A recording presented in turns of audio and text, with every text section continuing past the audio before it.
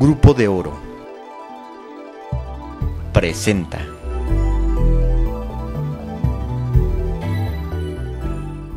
Tras asegurar que no ha habido acercamiento con autoridades nicolaitas, sindicalizados del SUEUM advirtieron que arrancarían un paro de brazos caídos en la totalidad de las instancias nicolaitas a partir del próximo martes. De acuerdo con Armando Rangel, secretario del Trabajo de esta organización, la acción dependerá de la resolución que se tenga el próximo lunes con representantes de la Universidad Michoacana, por lo que emplazaron a la universidad al pago inmediato de 250 despensas para personal de apoyo y 103 estímulos de puntualidad que siguen pendientes. Va a llegar, va a checar y a una hora en el transcurso de la mañana este, dejarán de elaborar sin cerrar instalaciones y cerrar oficinas y los estudiantes pues tendrán acceso a sus aulas.